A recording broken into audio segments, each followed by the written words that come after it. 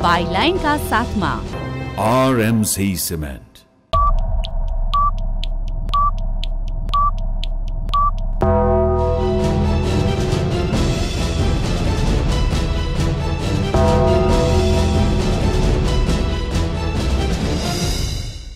नमस्कार। हामी बाइलाइनबाट सञ्चार सञ्जालको राष्ट्रिय शरीर बनाउँछौँ र सदा गतिशील रहन्छौँ। समय चक्रमा अनेक घटना हुन्छन् तर आजको घटनाले भोलिको आगमन रोक्न सक्दैन। भविष्यको उज्यालो छेक्ने कुनै पर्दा हुँदैन। विगतका घटनामा घोरिने मात्र होइन समाजमा निकासको बाटो उद्घाटन गर्न तम तयार। बाइलाइन पहिला एसएलसी भनिन्थ्यो तराईतिर त्यसको अर्थ हुन्थ्यो सक्दो लेख चोरेर। हो एसएलसी परीक्षामा चिट चोराउने प्रतिस्पर्धा नै हुन्थ्यो तराईका जिल्लाहरूमा। अहिले तराई मधेस भएको छ। अझ भन्नुपर्दा दुई नम्बर प्रदेश भएको छ। एसएलसी पनि फेरिएर यस इई भएको छ। तर चोरी त नानीदेखि लागेको बानी भयो। त्यसैले नाम फेरिए पनि चोर्ने बानी फेरिएन। हुँदा हुँदा अब परीक्षा सुरु हुनु अगावै फेसबुकमा प्रश्नपत्र पोस्ट हुन थाल्यो। सामाजिक सञ्जालहरूमा प्रश्नपत्र बाहिरिएपछि दुई नम्बर प्रदेशमा एसई परीक्षा मर्यादित नबनेको पुष्टि भएको छ। यसपटक त विद्यार्थीहरू होइन हातमा प्रश्नपत्र बोकेका शिक्षकहरूले नै आफ्नो पदीय हैसियत बिर्सिएर बदमासी गरेका छन्। केही बदमासहरूका कारण तराई मधेसको बदनाम कायम छ। आठ जिल्लामा विज्ञान विषयको परीक्षा नै रोकिएको छ। एसईको चौथो दिन विज्ञान विषयको परीक्षा थियो। परीक्षा मर्यादित हुँदै थियो तर तराई मधेसमा भने सनसनी फैलियो कि परीक्षा सुरु नहुँदै प्रश्नपत्र त फेसबुकमा पोस्ट भइसक्यो। कडा परीक्षणपछि विद्यार्थी परीक्षा हलमा पस्न पाउँछन्। बदमासीमा विद्यार्थीको भूमिका थिएन।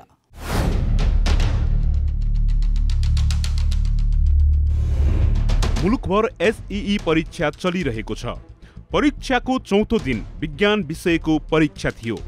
परीक्षा सुरु हुनुभन्दा एक घन्टा अगावै विज्ञान विषयको प्रश्नपत्र बाहिरियो। बाहिरिएको प्रश्नपत्र फेसबुकमा अपलोड भयो। विद्युतीय सञ्चार माध्यम भन्दा पनि तीव्र गतिमा फेसबुकले प्रश्नपत्र हात हातको मोबाइलमा पठाइदियो। एकले बिरायो शाखा पिरायो उखान जस्तै बन्यो बाहिरिएको प्रश्नपत्र। प्रश्नपत्र बाहिरिनुमा एकजना वा एक समूहले बदमासी गरे होलान्। तर परीक्षा दिने पाउने पाँच लाख विद्यार्थीले दुःख पाउने भए। प्रदेश नम्बर दुईको आठ जिल्लामा विज्ञान विषयको परीक्षा नै रद्द गरियो। आगामी चैत्र बाइस गते विज्ञान विषयको पुनः परीक्षा हुने भएको छ। एक त कक्षामा मोबाइल लैजान मनाइ छ। परीक्षा हल प्रवेश गर्नु अघि विद्यार्थीको शरीर छामेर जाँच गरिन्छ। परीक्षार्थीलाई बाँडिएपछि प्रश्नपत्र बाहिरिएको भए कुनै बदमास विद्यार्थीले करामत गरेको ठहर्थ्यो तर परीक्षा हलमा प्रश्नपत्र बाँडिनु अघि नै बाहिरिएको प्रश्नपत्र फेसबुकमा पोस्ट भयो। यो कस्तो बेथिति परीक्षा जस्तो संवेदनशील विषयमा हदैसम्मको लापरवाही। को जिम्मेवार छ र कसले जवाब दिने? लाखौं विद्यार्थीको भविष्यमाथि खेलबाड सरकारको बजेट अपव्यय? परीक्षाको मर्यादा हनन। शिक्षाको गुणस्तरमा गिरावट। के छानबिन होला र दोषीमाथि कारवाही होला? एसइई सुरु भएको पहिलो दिनदेखि नै चिट चोरिएको खबर आइरहेको थियो। गाइडबुक खोसिएको नक्कली विद्यार्थीले परीक्षा दिएको निरीक्षकहरूले चोरी गराएको कालो पाटीमा लेखिएको र कतिपय स्थानमा शिक्षक निष्कासन तथा पक्राउका समाचार पनि आइरहेकै थिए। तर परीक्षाको चौथो दिन सबै हद पार भयो। परीक्षा सुरु हुनु अगावै स्मार्टफोनको स्क्रिनमा प्रश्नपत्र झुल्कियो। एसइई परीक्षामा सहभागी केही बदमासहरूका कारण सिङ्गो एसइई टोलीकै मुहारमा मोसो दलियो।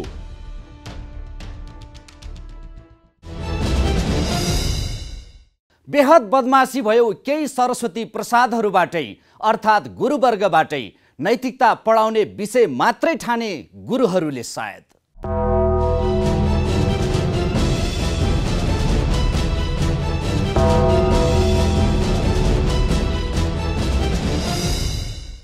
विद्यार्थीहरूले पढ्न नपर्ने शिक्षकहरूलाई पढाउन नपर्ने अभिभावकहरूलाई छोराछोरी फेल होला भन्ने पिर पनि नहुने समग्रमा शैक्षिक उन्नयनको आँकडामा पनि तलमाथि नहुने कस्तो मिलेमतो छ तराईमा बदमासीका लागि?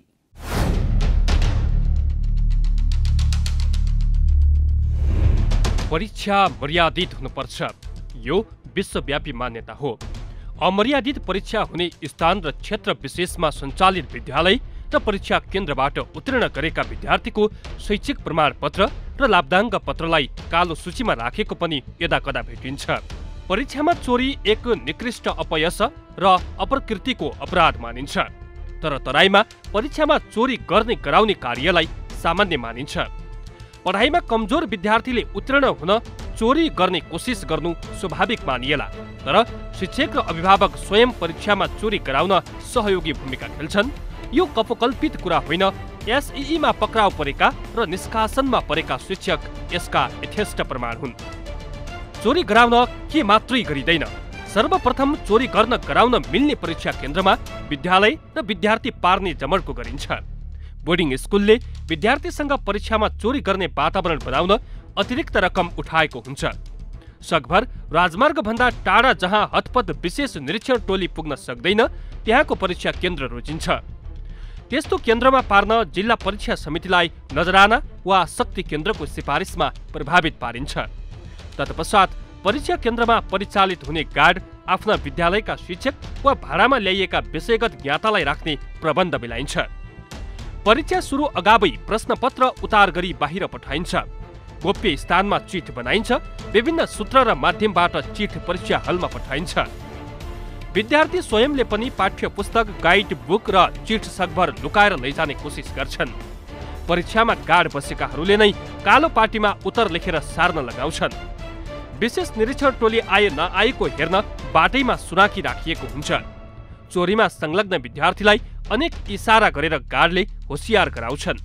कतिपय स्थानमा परीक्षा फारम भर्ने विद्यार्थीको सट्टा नक्कली परीक्षार्थीले परीक्षा दिइरहेका भेटिन्छन्। झट्ट सुन्दा हाँसो उठ्न सक्छ तर एक दिन भविष्य धरधरी रुनेछ। कस्तो रहला शिक्षाको गुणस्तर? के होला तराईको भविष्य?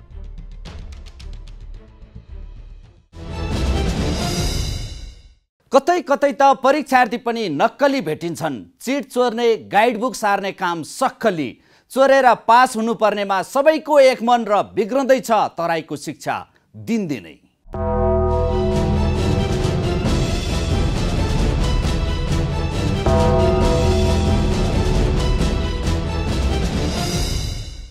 शिक्षाको गुणस्तर सुधार गर्ने गरी शिक्षा प्रणालीमा रूपान्तरण आवश्यक छ। तर गुणस्तर सुधारमा ध्यान दिएन। कारण मेटाउने कोसिस गरिएन। लक्षण निर्मूल पार्ने प्रयास गरियो। शिक्षाको गुणस्तरमा सुधार आएन। झन् विद्यार्थी नै अनुतीर्ण नहुने परीक्षा प्रणाली लागू भएपछि शिक्षाका हर्ताकर्तालाई हाई सन्चो भयो तराईमा।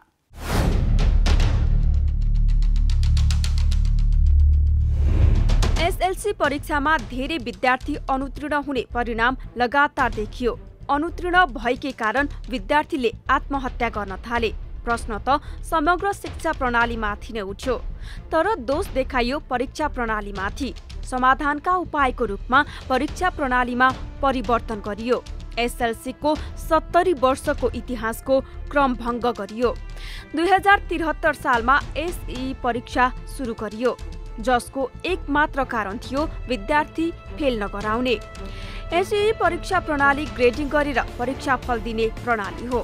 जुन प्रणालीमा कुनै पनि विद्यार्थी अनुतीर्ण हुँदैनन्।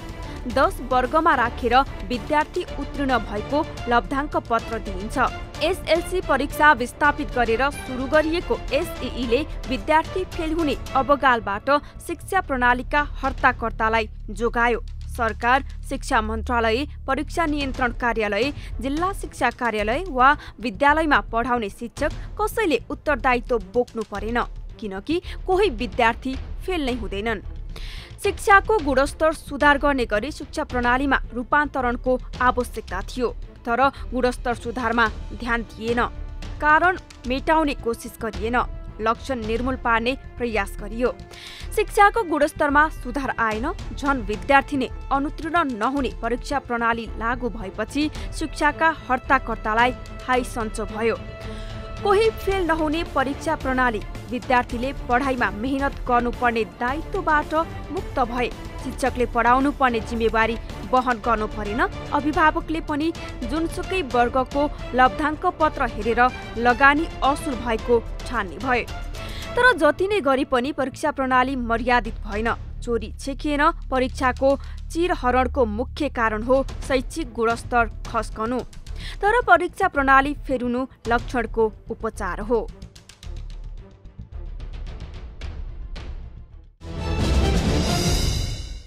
हरेक वर्ष यस इई परीक्षा तराई मधेसमा अमर्यादित भएको तस्बिरहरू आउँछन्। यसपटक शिक्षकहरूबाटै बदमासी भएको छ।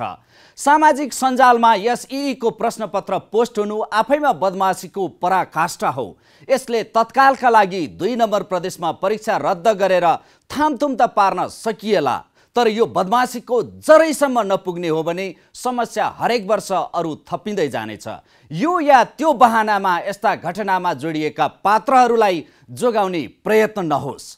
सामाजिक सञ्जालमा प्रश्नपत्र पोस्ट गर्नेहरू भाग्न सक्दैनन्। अनुसन्धानको सुई राम्ररी घुमाउने हो भने अनुसन्धानको दायरामा ल्याउने र तराई मधेसमा यस इई मर्यादित बनाउने काममा स्थानीय सरकार प्रदेश सरकारको पनि तदारुकता देखियोस्। परीक्षा रद्द मात्र तराईको पहिचान नबनोस्। समयमै हामीले चिट चोर्ने र चोराउनेलाई चिनेर कारवाही गर्न सकेनौँ भने प्रतिस्पर्धी शैक्षिक जनशक्ति उत्पादनमै कैयौँ वर्षपछि परिरहनेछ तराई मधेस। जनताद्वारा जनताका लागि प्रसारित जनता टेलिभिजनका सबै कार्यक्रमहरू तपाईँ जनता समाचार डट कममा पढ्न र हेर्न सक्नुहुनेछ। यसका साथै तपाईँ हामीलाई जनता टेलिभिजनको टिवाइजिएफमा चौबिसै घन्टा प्रतिक्रिया सल्लाह र सुझाव दिन सक्नुहुनेछ। जनभावनामा सदरमुकाम र सुदूर भन्ने शब्द हुँदैन। मुलुकको माटो जहाँ छोए पनि राष्ट्र एकैचोटि जागरुक हुन्छ। यो दूरीविहीन आचरण नै समाचार हो। बाइलाइन अर्थात् जिम्मेवार पत्रकारिता। राज्य दृष्टिमा देशभित्र दूरी हुँदैन। नमस्कार।